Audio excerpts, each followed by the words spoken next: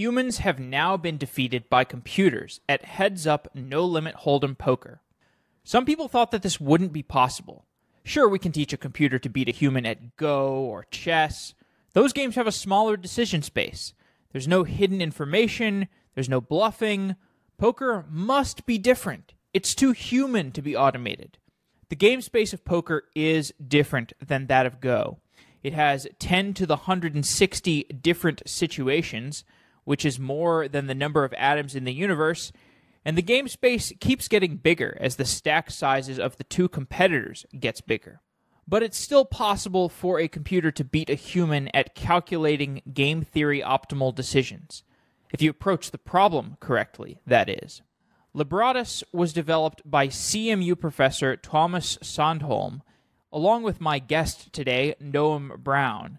The Libratus team taught their AI the rules of poker, and they gave it a reward function, which was win as much money as possible, and then they just told it to optimize that reward function. And then they just had Libratus train itself with simulation after simulation after simulation. And after enough training, Libratus was ready to crush human competitors, which it did in hilarious and entertaining fashion. There's a video from Engadget on YouTube, which I linked to in the show notes, and it shows the AI competing against professional humans and just destroying them. It's really entertaining. In this episode, Noam Brown explains how they built Libratus and what it means for poker players and what the implications are for humanity. Because if we can automate poker, what can't we automate?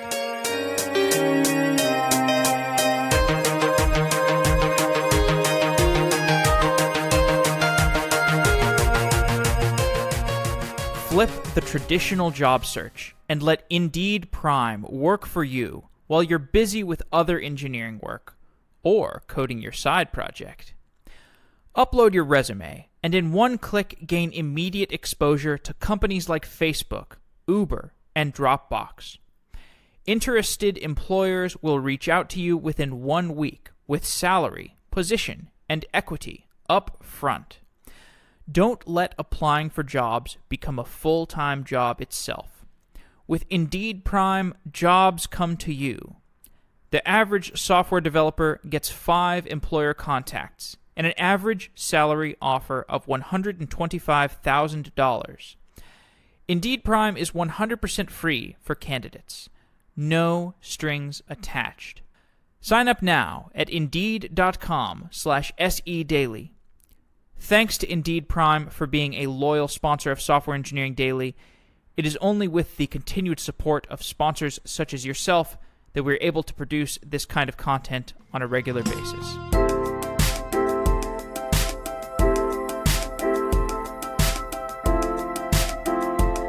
Noam Brown is a researcher at Carnegie Mellon University. Noam, welcome to Software Engineering Daily. Oh, thank you for having me. I want to start off by giving you and the listeners some quick context on my own background in poker because the work that you're doing on Libratus, the poker AI, is really close to my heart because when I was in high school, I was playing poker, and then early on in college, I was playing in some high stakes games online this was back in 2007 when the games were really easy. And then there was some legislation that made it really hard for people to put money online. So the competition got a lot harder because the people who were fishy were not putting money online anymore. And just it became a competition of really good players. And around that time, I started losing because I was not as disciplined, I was not as creative, my play was too algorithmic and all of the best players were more flexible, they were less emotional. So eventually I just decided to quit and focus on school, which led me to computer science, which brings us to today. Libratus is this poker AI that you've worked on, and Libratus is effectively more creative, more disciplined, and more thorough in its exploration of the game space of poker than any human has ever been. And I know this is going to be hard for professional human poker players because their time has come to pass. Like they are no longer viable poker players compared to automation. They've been automated away before even the truck drivers. Why is it that poker is so much easier to automate than people want to believe? Yeah, you know, you bring up a really good point. I, I, think when I tell people that I'm working on AIs for, for imperfect information games and applying it to poker, one of the things that I hear really frequently is, well, how can an AI learn to bluff like a human can? They have this, this idea that bluffing is this very human behavior that an AI can't emulate.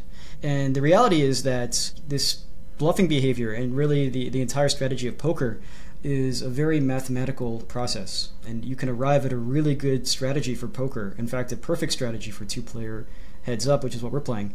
You can arrive at, at close to a perfect strategy using complex computer science algorithms.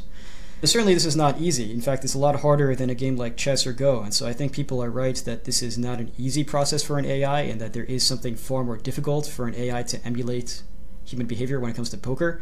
But this is certainly within the, the realm of possibility for an AI. And I think this really highlights what we're seeing in AI in general. I think people have this idea that there are certain things a computer is good at and certain things that a human is good at. For a lot of the these tasks, I think they, they categorize the, those incorrectly. So, you know, people used to think that an AI could never play chess or that it could never play Go. And, you know, until very recently, people thought that an AI could not master poker. And we're seeing that those are all actually tasks that, that a computer can master to a greater extent than any human can. Speaking of people framing problems incorrectly.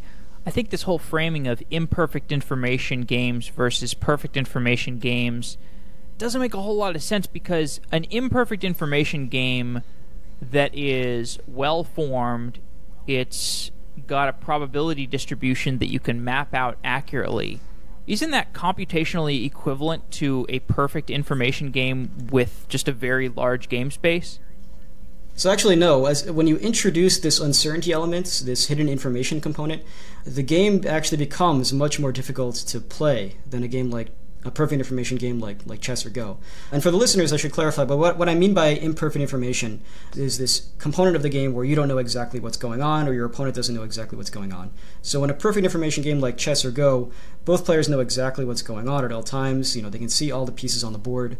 But in an imperfect information game like poker, you have your cards that only you can see, and your opponent has their cards which only they can see. So you never know exactly what's going on. You never know exactly what state of the game you're in.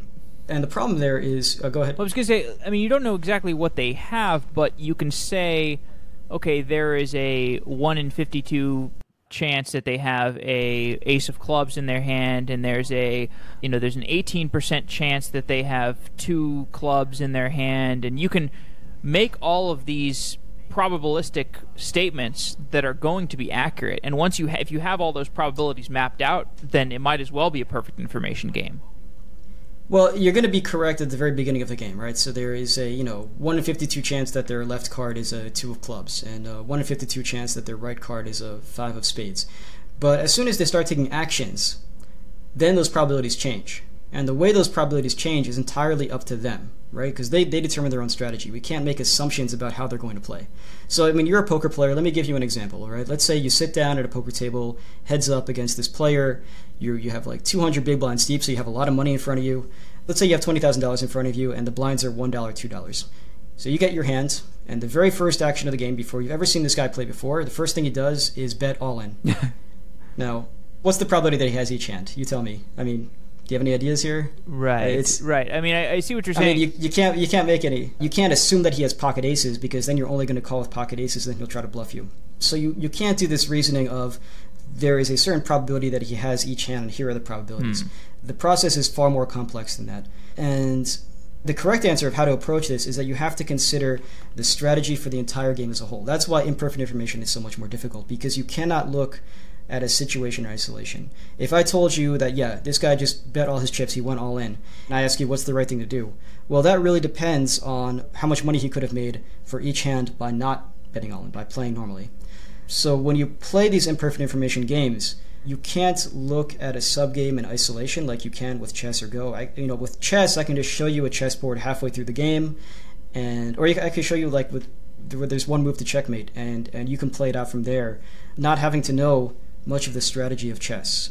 But in poker, it's different. In fact, in poker, as you get farther into the hand, it actually becomes harder for harder to play, both for a computer and for a human, because there's so much more uncertainty. There's so much more. There's so many more hypothetical situations that might have come up, and you have to consider all of that when you're forming your strategy. So this is basically the meta game that you're describing. You could think of it as a meta game, but I see it as really the game itself. I see this as, as really the essence of what poker is trying to come up with a good strategy for the entire game that your opponent can't take advantage of. So, the people who have worked on Go or chess, my understanding of those games, I mean, it's not great, but is that the game space is still too big to model completely, so they have to use some heuristics. And so, like, yes, these are, in a sense, perfect information games, but since you can't traverse the entire decision tree, you have to use some form of heuristics. It seems to me that the processing of a given decision is somewhat similar to the processing of a decision, even in an imperfect information game where you're using some heuristic. The only difference is the heuristic in in an imperfect information game is, you know, what has this this player done in the past, perhaps, and how am I using that to traverse the information. Whereas in a game like Go, a perfect information, you can just trim off branches really quickly where you can say, okay, this branch doesn't make any sense. You know, actually, the approach that we use for imperfect information games is, I would say, pretty radically different from the approach that has been used in perfect information mm. games like chess or Go. Okay. The approaches that are used in chess and Go all function on this idea of searching through the game tree. Right. right? You're, you're in a certain situation, you know you're in that situation, and you search for as far as you can, and then eventually the, the game, you know, you just there's too many possibilities to consider. So you just use a heuristic to decide what's the value of this state that I've that I've reached in my search. So right, so the, and this is, humans sort of do the same thing when they're playing chess, right? They, we say like, oh, you can look three moves ahead. So they look three moves ahead for all the different possibilities, and once they get three moves into the future, they're like, well, this situation looks pretty good, or this situation looks pretty bad, based on some heuristic of the game board. And with poker, that approach doesn't work, and you really have to start from scratch with an entirely new approach. So we do really the, the essence of what we do in, in, poker to come up with a good strategy is reinforcement learning. It's this idea of, the AI learns how to play on its own. It starts completely from scratch, playing completely at random, and then it just plays itself in trillions of hands of poker. And over time, it when it finishes a hand, it goes back and reviews all of it, the decisions that it made, and it it asks, you know, if I had done this other action instead, would I have gotten more money? So, and humans do this too, right? When humans are playing poker, after a hand is over, they'll ask their friends, well, if I had raised there, would you have called me? And the AI is doing exactly that on every hand. And if the answer was yes, you would have gotten more money, then the AI will take that action more in the future. So, this process, over these trillions of hands, the AI gradually improves in a way that's pretty similar to how a human improves. And eventually it arrives at what's called the Nash equilibrium, this is a, a perfect strategy in two player poker. Poker players might be familiar with this term more as game theory optimal, GTO. Yes. It's this idea that if you are in every game, there is this perfect unbeatable strategy in expectation. So if you're playing the the Nash equilibrium, then in expectation your opponent can't beat you. And that's what the AI is trying to approximate. So your work is combining game theory and reinforcement learning.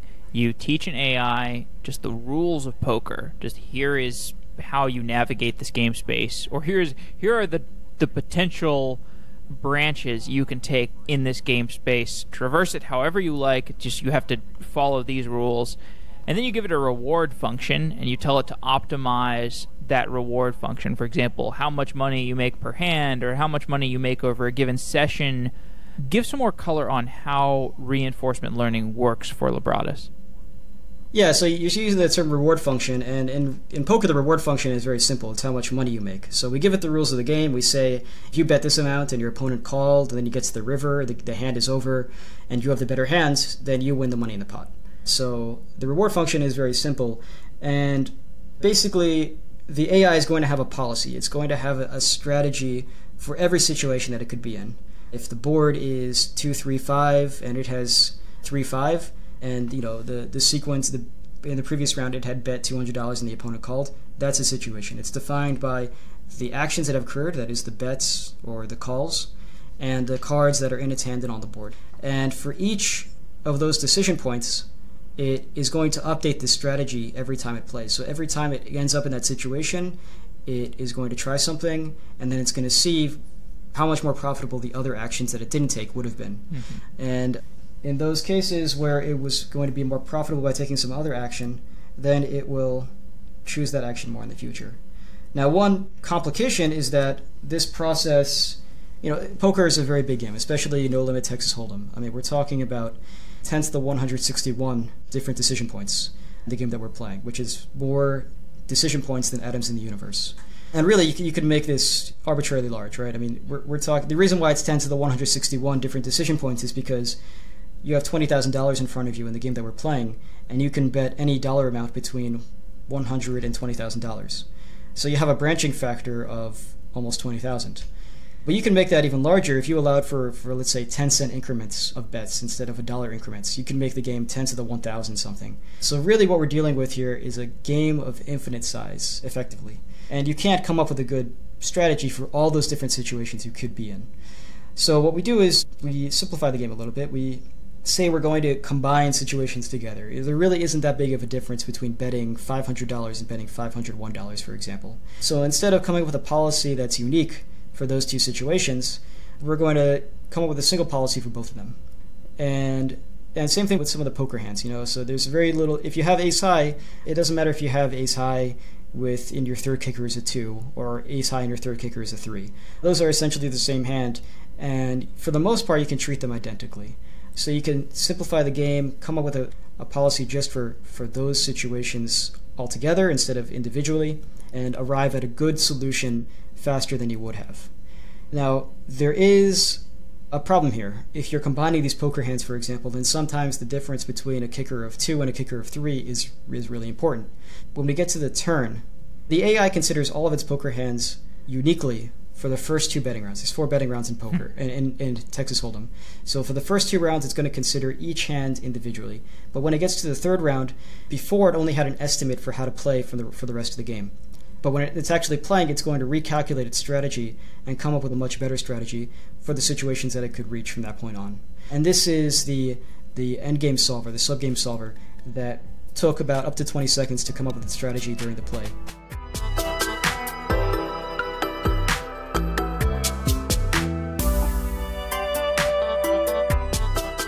For more than 30 years, DNS has been one of the fundamental protocols of the Internet. Yet, despite its accepted importance, it has never quite gotten the due that it deserves. But today's dynamic applications, hybrid clouds, and volatile Internet demand that you rethink the strategic value and importance of your DNS choices. Oracle Dyn provides DNS that is as dynamic and intelligent as your applications. Dyn DNS gets your users to the right cloud service, the right CDN, or the right data center using intelligent response to steer traffic based on business policies as well as real time internet conditions like the security and the performance of the network path. Dyn maps all internet pathways every 24 seconds via more than 500 million trace routes. This is the equivalent of 7 light years of distance, or 1.7 billion times around the circumference of the Earth. With over 10 years of experience supporting the likes of Netflix, Twitter, Zappos, Etsy, and Salesforce, Dyn can scale to meet the demand of the largest web applications. Get started with a free 30-day trial for your application by going to dyn.com slash sedaily. That's D-Y-N dot com slash sedaily. After the free trial, Dyn's developer plans start at just $7 a month for world-class DNS. Rethink DNS.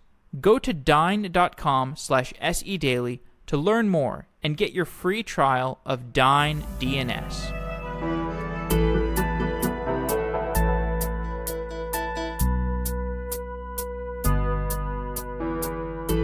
Interesting. So that makes a lot of sense because basically you're saying in the first two streets, the or well before you even get to the to the flop, and then on the flop, the potential uh, directions that a hand could go are just so multifarious. But once you get to the turn, like I remember when I was playing, a lot of the the best players, they would really have their, you know, and like you said, basically when you get to the turn, they would have like all these different plans mapped out for what can happen. Like if I do X on the turn, and then if the river comes this, here are all the different things I can do. Like here are the cards I can bluff on. Here are the cards where maybe I can make a bet of up to X and get X X expected value. And you know here's a you know here are all the cards where I can make a bluff. Like I may oh maybe all on all of these cards I can make a really small bluff, and I can actually get a whole lot of fold equity despite it being a really small bluff.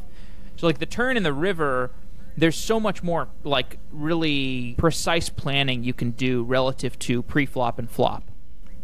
That's correct. Yeah, you can come up with like a good, you know, when, when the humans play, for example, when they're playing the pre-flop and the flop, they're not really thinking that hard. They just you know make their decision instantaneously. They have a plan already. They have a planned out what they're going to do in every situation, and the AI is doing the same thing. It's already decided what it's going to do in all the situations. It might come up that might come up on the pre-flop and the flop, the first two rounds. For the turn of the river, it has to think more carefully and analyze the exact situation that it's in. But for the pre-flop and the flop, it's only really like, you know, coming up with an estimate, a reasonable you know, a sort of rough sketch of how things might play out on the turn of the river. And that's it turns out that in our experiments that's that's actually all you need. You really only need that good estimate. Mm. And certainly your performance is going to depend on how good your estimate is, but we find that it, it gets very good performance and the estimates it comes up with are very accurate. You know that's so funny because you know back when I played there were all these people who would ha- be successful with different styles and qu- the quote styles that they would have were often like different in terms of what is their pre-flop range, how much quote floating do they do on the flop? Like a float is where you you know you take a turn where you just have like a backdoor flush draw or you've got bottom pair mm-hmm. or something really weak where you're just like yeah let's see what happens. Like the different styles were often articulated by that but all of the players who were successful had extremely sophisticated turn and river play. So i think that falls in line with with kind of what you're saying about the general truths of how you can build a poker ai yeah, definitely. And I think that the strength of the AI is really its ability to play the turn and the river extremely well, mm. far better than a human can. And you know, there's there's some really advanced things that you can do on the turn and the river that most humans well in all streets that, that that the computer can do way better than humans for, so for example you might be familiar with blockers it's this mm-hmm. idea that you know if there's three spades on the board and you have a spade then your opponent can't have and you have the ace of yeah. spades let's say then your opponent can't have the ace high flush because you you block that that hand and this plays a big part in a lot of bluffing, right? Because you want to bluff in situations where you have the ace of spades in that situation, because you can represent the ace, the ace high flush, knowing that your opponent can't have it. And the AI is really good at this, far better than, wow. than uh, any human. And it was one of the, the main strengths of the AI in the competition. Really? Even in just no limit hold'em? Yeah, in, in no limit Texas Hold'em, blockers, I mean, at the top level of play, blockers are very relevant and really the difference between you know, beating the best in the world and beating recreational players. Huh.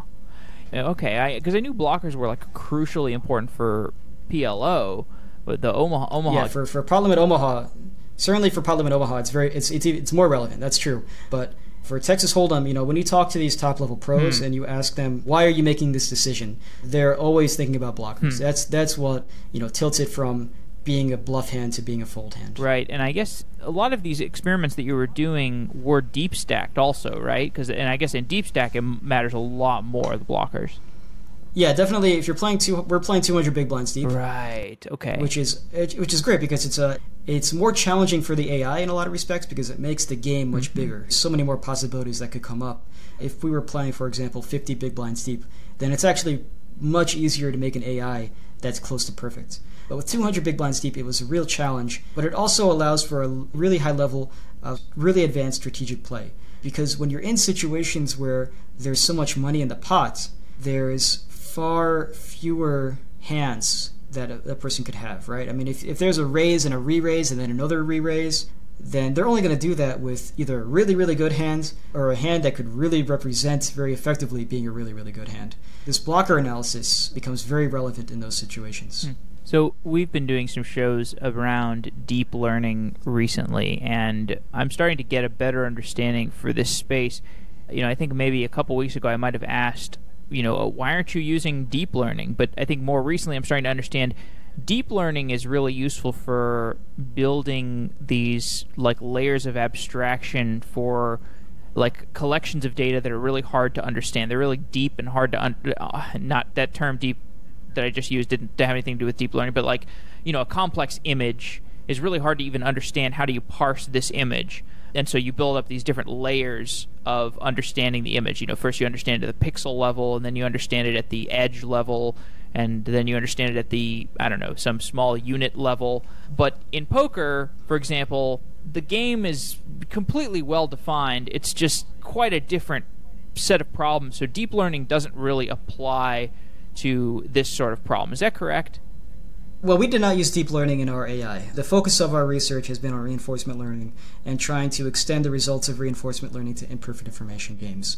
This has been a, a, real challenge in AI going back for a long time. People knew how to make AIs for perfect information games like chess, and they sort of had an idea for how to do it for Go also. And in 2016, they, they really figured it out. But with poker, it was it, it had always remained this challenge because this, it's a fundamentally different kind of problem. And that's really what we address with our AI. We don't use deep learning with it now that said, I mean, the methods that we're using are not incompatible with deep learning. Hmm. You know, I, you could throw in deep learning, and depending on how you you implement it, yeah, it could help with with some aspects of the AI. But you know, I think that it's not like there's a lot of different aspects to AI. Deep learning is one area, but there's a lot of others as well, and they're not all incompatible. And I think that deep learning has gotten a lot of attention in recent years, and for good reason. But it's certainly not the only area of AI I think this this competition and Libratus really really highlights that you can see AI is advancing in in a, a, lot of different areas. And certainly, reinforcement learning, which is what we're using, is a really quickly advancing field. So, one thing I can imagine is if you had two AIs that were competing to recognize images better, then you know for each AI, you've got all of these different variables that you can tune to make the best image recognition algorithm and then you can use reinforcement learning to train the weights on those different variables. How would you apply deep learning and reinforcement learning together to a poker AI? Well, I think one area where, where deep learning might be helpful, and again, you know, we, we did we did not need deep learning to to beat the top humans, but for imperfect information games in general, maybe other games, it could potentially help. I mentioned earlier that we combine some situations together. So, for example, you know, if you have a bet of $500 and a bet of $501, we treat pretty much the same. And we do that when we're coming up with these estimates for how to play later on. We have techniques for how to do that, but alternatively, you could use something like deep learning to figure out how to combine those different situations together and simplify the game. And that that might be an area where deep learning could be applied in the future. Hmm. Okay. Can you talk any more about like what the implementation of that would look like? I can't really comment too much because I, have never, I haven't tried this. Okay. This is just speculation about what directions people might go in the future. All right. Okay. So I was watching these videos of Libratus playing people, and it was funny to see these strategic manifestations that occurred because some of the stuff that Libratus does are things that people would explore at high stakes poker, but they wouldn't explore them as thoroughly. Stuff you know where like really tiny bets or huge over bets. These things that people like Prahlad Friedman did, Stu Ungar did this kind of stuff. People like who was that really crazy high stakes player, the guy that was dominating for a while. Anyway, well I, I forgot his name. I, there's a lot of people like that, but you know, I felt like a lot of times they didn't really talk about the mathematical justification for it. Like maybe they did have a mathematical justification and they just didn't even maybe they didn't understand it or maybe they just didn't tell anybody because it was their secret sauce. But I think like today, probably the math of overbetting or underbetting is maybe it's a little better understood. Can you talk about why Libratus makes these weird bets? Why they're actually mathematically justified? Yeah, this is one of the really cool things about the AI is that since it hadn't learned how to play from, from human data, it had learned by playing against itself, started from scratch it was able to come up with these really innovative strategies that humans don't really employ and, ha- and the pros that we played against had a lot of trouble responding to. Now, as to why it chose to make these huge overbets where it was betting eight times the pot in some situations. you know, I, I, I don't know what its thought process was. I mean, I'm not a pro poker player. I didn't tell it to do those things. I just gave it the rules of the game, and it it, it just it played it after playing trillions of hands. It decided, hey, that seems to work out. Did really it well. do that like on the turn or on the flop? Oh yeah, it would do it. It would do it on the turn. It would sometimes do it on the flop. It was great, and the the pros that we were playing against said that you know, this is something that, that they really have to start using in the future because it it really allows you to grow the pot very effectively when you have a Wow. strong hand. And of course, you need to you need to balance that because you can't just do these huge overbets when you when you have a good hand because then your opponent would always fold. You have to mix in bluffs as well. And I think that that's a real challenge for humans. I think they're really afraid to make these huge overbets when they have a, bluff, and, and understandably, right? I mean, humans don't want to. There's this aversion to betting twenty thousand dollars into a two hundred dollar pot when you have three high, right? So the AI obviously has no fear. Well, what's funny is because if you start to do, it's almost like humans had this silent agreement just to not overbet before the river. Because if you do that, the effect is that it increases the risk of ruin for everybody. Perhaps, I mean, uh, maybe that's an over overambitious statement there, but uh, it seems like if you do that, that would happen, right? You would probably increase risk of ruin for everybody, and nobody wants that. Yeah, you know, honestly, the pros that we played against said the same thing. They said that when they're playing against other humans, there's sort of these unwritten rules Yeah. that people just don't do certain things, and nobody, you know, nobody really thought that it was that much of an improvement to actually do those things. It's just that it, it just it, they thought it just increased the variance, it increased the chance of losing tons of money, so they just never did it. And the AI disrespected all of those rules, and they really hated the AI for that. So it was funny watching these these pros. You know, they were just like by the end of it, they were just so exhausted and so like beaten down. They, you know, they started doing the strategy. They're like, let's just three bet it eighty percent of the time, and, and Well, well, to be clear, they, they thought that was that was a good strategy. They they analyzed the hands from the previous days and they oh, determined Oh, okay. that well, based on the data, they thought three betting eighty percent of the time was was going to win them a lot of money. And it turns out they were very wrong, but but they, they had a, they had a reason for it. did that just increase the velocity at which they lost money? Basically, yeah. And it's so funny that these two players coordinated still could not beat it. Although, I mean, I guess that that makes sense because Libratus is effectively an infinite number. Of, well, it's some number of robots that are collaborating with each other, just like comparing advice and stuff. Mm, yeah, so they, they were all actually playing against the same copy of the AI. Oh, okay. It was Huh. interesting. The AI was improving based on based on the play against the humans. So it was looking at what situations were the humans putting it in, and overnight it would learn how to better respond to those situations. So it wasn't adjusting. When the media first heard about this, they immediately latched onto this as as the AI adapting to the opponents and learning from the opponents and trying to figure out how to beat them. And that's actually not the case. The AI was looking at what situations the humans were putting it in and improving those situations to try to get closer to this perfect strategy, this unbeatable mm-hmm. strategy. But the humans, they picked up on this and they then decided to coordinate with each other so that instead of using the same sizes and putting the AI in the same situations among all four of them, they would use different sizes. They would use different bet sizes so that the AI would have harder time learning how to respond to all of them. So I got to hand it to the humans. They they would they put up a huge fight. They put up an incredible fight, and they really gave it their all. I mean, they were they studied every night trying to figure out as a team how to take mm-hmm. down this AI. So they were playing the bot, and then the Libratus would. There's some offline batch learning that it would go through every night. Can you talk more about that? The cycle of learning. Yeah, so the idea here is that on the first and second round, the AI considers a bunch of different sizes, a bunch of different bet sizes, both for itself and for the opponent. Like I said, there's 20,000 different possibilities because you can bet any dollar amount between 100 and $20,000, but it doesn't consider all of them. It's it'll round, for example, a bet of $501 to a, a bet of $500. But you know that's obviously not a perfect strategy.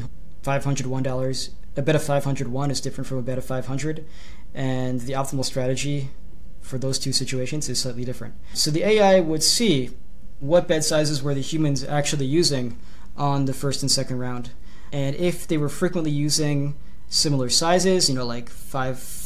525, 526, 527, something like that. And they were those sizes were far away from a size that it already had in its abstraction that I was already considering. Basically, if this rounding error was pretty large for the situations that the humans were putting it in, then it would learn overnight how to better respond to that situation in particular rather than rounding it to the nearest size. Hmm. Can you explain how much of that was hard coded and how much of that was like strategic algorithms that the AI learned? This was all strategic algorithms that the AI learned. You know, very little of this is handcrafted. When it was deciding what actions to improve upon, for example, it used an algorithm to decide, well, this act- these actions that the humans are using are far away from a size that I'm already considering, and they seem to be betting this this amount a lot. So I should really focus on on this situation in particular to improve. Mm. Some things are are handcrafted, and I think that this is an area for improvement. In particular, the sizes that the AI considers. You know, it considers a bet. It might bet a quarter pot, or it might bet a half pot, or it might bet one times pot. Those sizes were, for the most part, not entirely, but for the most part, were determined through a handcrafted choice. You know, the, the, a human, basically myself and my advisor, decided on those on those sizes that it would consider, and then among those sizes, it would choose which ones to use. So that way, it didn't have to consider all twenty thousand different sizes. It would only consider, you know, maybe 10 mm different sizes to choose from. We do actually have an algorithm that can determine those sizes automatically. And I think in the future, you know, it'd be really nice to use that instead. And we did use it to, for example, determine the first and the second bet sizes. So, for example, the algorithm determined that if the optimal opening bet size in heads up no limit Texas Hold'em is 0.75 times the pot, uh, 2.5x, which coincidentally is something that humans are now using pretty frequently. So we use that size in the abstraction. Hmm. Uh, but some other ones were handcrafted, yeah. What programming languages and machine learning frameworks are you using? The algorithms were written in C++.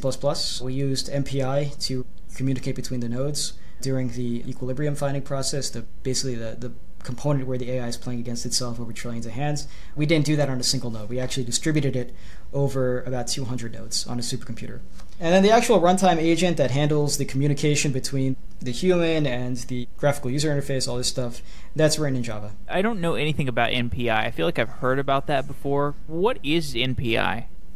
MPI is a protocol. It's a, a framework for, for communicating, basically an API for communicating between nodes in a distributed process. It's you could think of it as a much faster version of TCP/IP or like socket communication, for example, when you're running on a local cluster. And it's really low level. That's the key difference between this and a lot of other communication protocols. Is extremely low level. You're you're saying I want to I want to send a message with of this size and the bytes are this basically. So it's really fast. It's not robust to errors at all. you have to handle that on your own. But if you're doing something that's you know each hand that the bot is playing takes milliseconds, you know, a few milliseconds at most. So we have to have something that's extremely fast, and MPI is the right choice for it.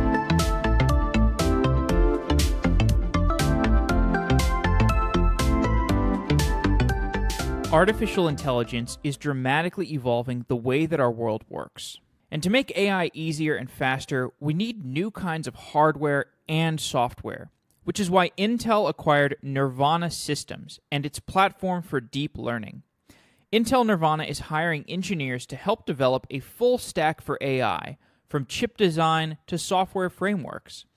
Go to softwareengineeringdaily.com/intel to apply for an opening on the team. To learn more about the company, check out the interviews that I've conducted with its engineers. Those are also available at softwareengineeringdaily.com/intel. Come build the future with Intel Nervana. Go to softwareengineeringdaily.com/intel to apply now.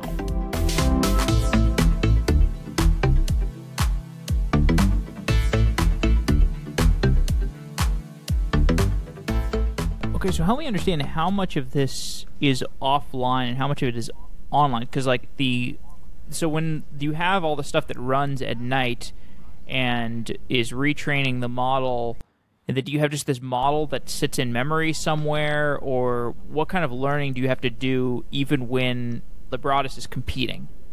So if you look at the number of core hours that we use, the, the amount of computational time spent, the majority of it, about I would say 60% of it, was spent online during the competition. Competition.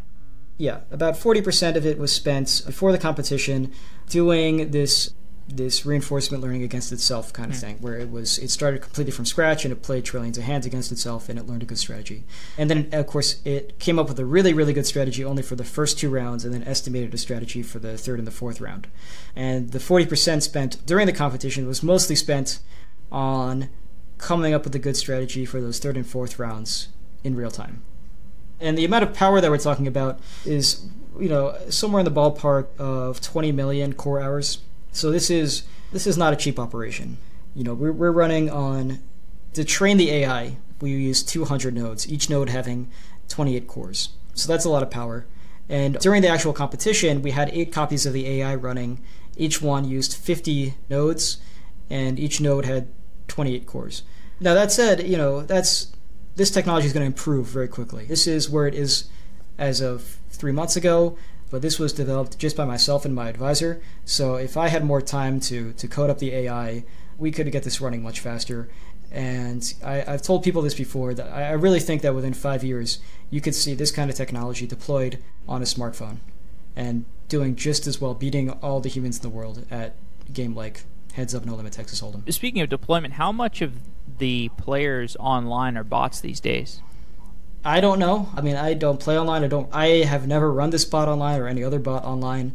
From what I've heard, the poker sites are very effective at cracking down on bots. They have a lot of security measures in place. So if they see, for example, that you've been playing for 24 hours straight, then they'll throw up a captcha that ask you, "Are you are you human?" Or and they'll they'll have like sophisticated techniques to, to trip up computer vision algorithms that might be trying to play automatically, or they'll look at what programs are running on your computer. And in fact, I've even heard that if they really suspect you're a bot, let's say you want a really big hand, for example, they will call you up and ask you what was your thought process during that hand. The reasoning being that if you know if you're actually a human and you ha- you were in a huge pot, you're going to remember how you played that hand. But you know if you just had the bot deciding for you, then you're not going to remember the details necessarily. And certainly, there's a huge risk to running an AI online. I mean, if they if they suspect that you're a bot, they're going to confiscate your money. That's the best case scenario is that they confiscate your money. The worst case scenario is that you're doing this in a state where it's illegal and you actually go to prison. So, I mean, I, I think that there are bots online. Certainly, yeah. I have no idea how prevalent they are. I think it's going to become more of a problem in the future as this technology becomes more widespread. You know, we're already seeing that there's these there's a lot of tools for poker players in general, right? I mean, you have pre-flop tables, you have endgame solvers, all these things. And I think that once the research for Libratus gets out there and become more common in the poker community and more better understood by the poker community, then these tools that humans are using are going to improve.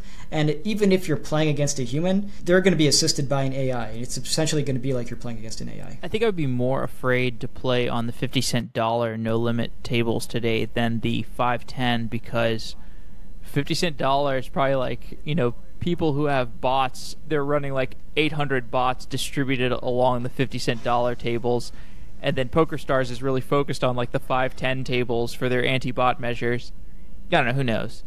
Yeah, that's probably true. I mean, certainly the AIs that are the, the AIs before Libratus. I mean, even like two years ago, they were able to beat 90, at least 95, maybe even 99% of, of online poker players. Yeah. It's just not that hard of now, a problem it's not that hard to beat bad players. That's easy to do for with an AI. You could even take a, a human that's like a, a, pro poker player, and he could hand code some rules for how to play, and that would beat most of the players at the really low stakes. Because there's just a lot of people out there that are willing to throw their money away for entertainment. But at the high stakes, then that's a different story. I mean, certainly before Libratus, just before three months ago, no AI was able to beat top players, people that really took it seriously. So the reason I, I led off this conversation with a personal anecdote, I, I don't tend to do that in these shows, but the reason I do that is because poker you know, I had to leave the game because it was no longer a viable career to me. And for a while, that was really difficult because I was like, what am I going to do now? I focused my entire life on poker. And I'm sure through the Libratus project, you have met plenty of other poker players who that's all they do. It's like their life, it is their culture, it's everything they do. And they're going to have to abandon that because it's no longer going to be a viable career. I mean, it's been dying as a viable career for many years since the boom. You know, the long term implications for me were quite positive because I had to reinvent myself, and that was great. And I'm wondering what your take is on that because all of these people are going to be automated out of things like truck driving in the near future. And it seems like this is actually an opportunity for tremendous reinvention along these people. But I, I mean, I also know a lot of poker players who have never reinvented themselves. They've just kind of languished in gambling, and now they're addicted, and it's, it hasn't turned out well. But I don't know. I think you're in an interesting position to comment on the pros and cons of white collar jobs being automated away. Right. So I think you're bringing up two points. One is you know automation of poker players, basically, and automation of other professions in general. With regards to poker, I think you're absolutely right that the you know the poker boom has ended. It's never going to die. Poker's never going to die. But certainly we saw this effect where you know, you had it's like in any ecosystem where the smallest level of the food chain dies out, it's working its way up the chain, and the, the slightly larger fish are, are dying out of the, the after that the bigger fish die out eventually the sharks are going to go hungry and that's sort of what we're witnessing now and it's certainly i admit that developing ais like these is not helping that situation um, i think that it's it's going to hurt online poker uh, in particular pretty hard i still think that ais are not going to be as widespread this AI, for example, it, it plays heads up. The techniques could be extended. And the reason why we focus on heads up is because if you really want to figure out who's better, you really have to play heads up because then you don't have any issues of collusion or interactions between other players. That said, the techniques could be extended to more than two players and it will probably do just as well. So I think it'll be another year at least until this kind of technology really spreads out into six max and nine nine max games. But eventually, online poker is going to face serious problems I still think that live poker at the casino is going to do well. And in fact, I think one of the reasons why we did this this whole competition at the Rivers Casino in Pittsburgh. They were phenomenal, by the way. But I think one of the reasons why they were willing to host this kind of event is because it really highlights that hey, you might not want to play on online poker tables anymore. It's you might want to come here instead, where you know mm-hmm. that you're not playing against an AI. And for the people that are leaving poker, you know, I really think that it's not a bad thing yeah, poker is fun, but I think it's something that you don't want to necessarily do for your whole life unless you unless you're like at the absolute top of your game. It's very difficult to make a, a living and to make a, a whole life out of playing poker. This could be a very good opportunity for professional poker players who are not at the very top of their game to reinvent themselves, like you have done. Now, with regards to automation in general, you know, automation of truck drivers and, and all these jobs, you know, it's yeah, AI is sadly going to replace a lot of human jobs. Uh, well, I, I, say sadly. I mean it's sad in, in one in one sense that you know a lot of people are, are going to lose their professions, but on the other hand, it's going to create a lot of opportunities as well.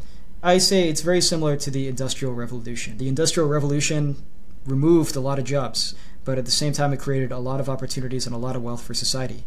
And I think it's important that we recognize that there is going to be winners and losers. And there's definitely going to be more winners than there are losers but it's important to compensate the losers and make sure that they're not getting an unfair share of this advancement, that they're compensated for their loss by the winners in, in, in this automation process. Hmm.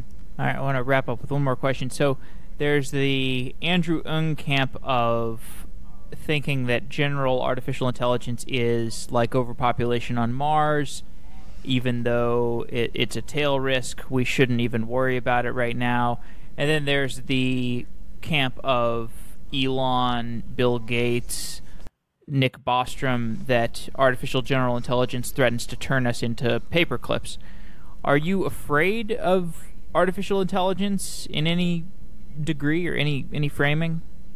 It's an interesting question. This is something that's really it's sort of been delegated to science fiction for a long time, and I think that we're, we're seeing such huge advancements in AI that maybe the time when an AI is surpasses human intelligence is not as far off as we thought. That said, I, I still don't think that AIs are going to surpass human intelligence anytime soon. I think that this is not going to be a, a real practical concern for 50 or 100 years at least. Yes, we're seeing AIs beat humans at chess and Go and poker now, but you're still not seeing an AI writing a prize winning novel. You're still not seeing an AI you know, coming up with really cool and elegant mathematical theorems. So I, I think what we're seeing is that some things that we thought humans were only humans were good at, uh, we're actually seeing now that, that computers can handle those tasks as well. But there's still many more tasks that humans continue to excel at, and that AIs are really, really bad at. And I think that we're just not really focusing on those because they're not as exciting. So I, am not terribly concerned about it in the near future. I think that we should be focused on how these advancements in AI are going to enrich our lives. Maybe one day we're going to have to worry about what intelligence really is. What does it mean to be an AI versus a human? But I think that's going to be a question for our grandchildren, not for us. Okay, Noam. Well, I want to thank you for coming on Software Engineering Daily. It's been a fascinating conversation. I'm excited about Libratus.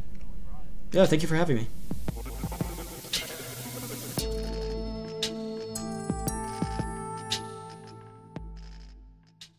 Indeed Prime is a sponsor of Software Engineering Daily, and they worked with us to create some tips for the hiring process. Today's tips are about hiring management. So if you're a hiring manager, I've got seven tips that I think you might want to consider. These tips are sponsored by Indeed Prime, but I wrote them myself. Tip number one optimize for growth. If you are hiring people, you don't necessarily want to hire the person that is right now ready for the role that you're hiring for. That would be great, but oftentimes you can't find that, or hiring that person could be super expensive maybe take a risk on somebody. Take a risk on somebody who just graduated, who seems super hungry, and optimize for growth in the candidates that you look for. Tip number two hire for strength, not lack of weakness. Oftentimes, people have super exceptional strengths, but they've got a collection of weaknesses like interpersonal skills, or maybe they're not great at writing unit tests people can learn these things, or you can get those things from somebody else who has a strength in them. It's much harder to cultivate an extreme strength of of uh, of a candidate. Tip number three is let a candidate propose a hiring procedure. So, oftentimes, the hiring procedures that are boilerplate that you can find online are not modern and they don't let a candidate optimize for the things that they're great at. So why not give the candidate the opportunity to structure their hiring process? And if you say to them, hey, work with me to develop a hiring process just for you. If they can't do that, well, maybe you shouldn't even be hiring them in the first place. They should have enough creativity to say, okay, let me build you a side project that displays quality X, or uh, okay, um, let's do this structure of programming problems, and then they'll give you some uh, ideas for programming problems they might want to work on. Um, and then you can work on them together. I think these kinds of things can really show the best features of a candidate. So, tip number four is give the candidate an opportunity to show strengths. So, this really goes with tips number two and three. Uh, you really want to give the candidate the opportunity to show their best side. And oftentimes, these super limiting hiring processes like whiteboarding don't really let a candidate get creative and show their best side. So it's and it makes people nervous when they don't get to you know live in their own skin when they have to live in this manufactured world of whiteboard problems. So tip number 5 is if you want servility, you can focus on servility and boilerplate programming problems sometimes it is good to have these whiteboarding problems because you have extremely well formed problems in your engineering stack. Maybe you've got this very specific uh, set of refactoring things that you need done. If that's the case, if that's what you're hiring for, then maybe you should do whiteboarding problems. Maybe you should have somebody um, find all the subsets of some collection of numbers that sum to 15 um, but I would say that it's generally better to hire creative engineers. And that's tip number six. If you want creative engineers, focus on flexibility and creativity. That's why I'm suggesting that maybe you should even let the candidate propose their own hiring process. Um, because if you if you if you present that to them, then an honest candidate will say, "Okay, I'm going to invent a, a hiring process on the fly that's going to test my creativity. It's going to present to you that I'm creative, and it's going to be fun for both of us. If that's too complex of a task for this engineer, then maybe they're not a great fit for a creative engineering role. But a lot of the hardest engineering roles take a great deal of creativity, they take a great deal of honesty, um, and they take a great deal of execution and communication skills. And I think the idea of flexibility and creativity in the hiring process mirroring the way that the job will proceed, which will also be creative and challenging, um, it's a good way to set set yourself up for a good relationship with that engineer if everything goes to plan. Uh, and the final the final rule, rule number seven, or tip number seven, if you are hiring for boring legacy programming work, be honest about that. Uh, I know a lot of engineers, Uh, myself included, who have been kind of tricked into doing boring work. You get hired, you show up on day one, and you you've gotten sold this really interesting project. Oh, you're going to build an anti-fraud system for analyzing all the transactions on our marketplace and you show up and it's like actually you're refactoring this terrible legacy thing. This is actually a really common practice in engineering and it's totally counterproductive. So there are people who want to do that kind of legacy refactoring work. In fact, we did an entire show about it with Andrea Goulet. Some people like doing legacy programming, and, and that's okay. And companies that hire for that kind of work should be honest about that. So, this concludes my seven tips for hiring managers, sponsored by Indeed Prime. If you want to support Software Engineering Daily and check out a new way for hiring, whether you're a hiring manager or an engineer, go to indeed.com slash se daily. Thanks again, Indeed.